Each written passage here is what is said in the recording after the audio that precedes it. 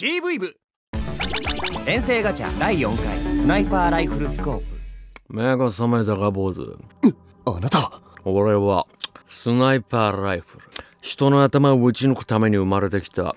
お前はスナイパーライフルスコープだ。俺がライフルのスコープ？人殺しを手伝うっていうのか？ケツの青いガキだ。俺はガキじゃない！俺の頭に乗ってガタガタ騒がないでくれ。ほっぱにキスでもしてやろうか。ガムを噛んでる口でされたくないね。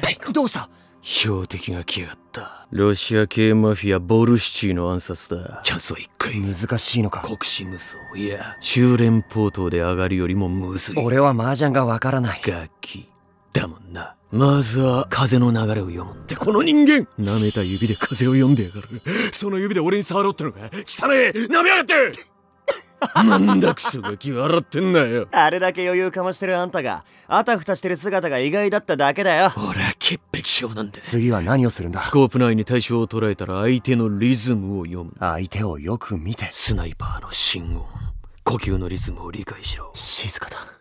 標的の動きが読める。構えてる人間の心臓の音しか聞こえね才能だ。えなんだと？悔しいが普通なら震えが止まらねえはずだ。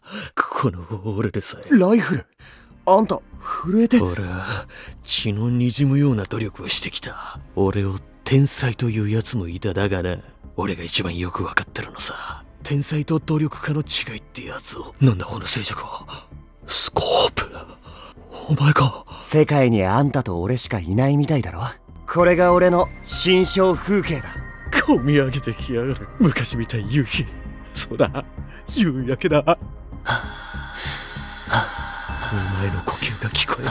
シンクロ。できるか。